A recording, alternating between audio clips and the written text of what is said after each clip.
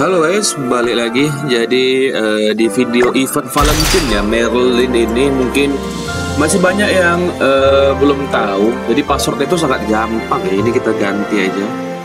Ini kita ganti jadi ini kosong. Ini dua, ini satu, eh, ini empat ya guys ya. Jadi 0214. Boom, buka. Jadi ya seperti itulah videonya, sangat-sangat em, gampang ya untuk buka gembok di quest Merlin ini.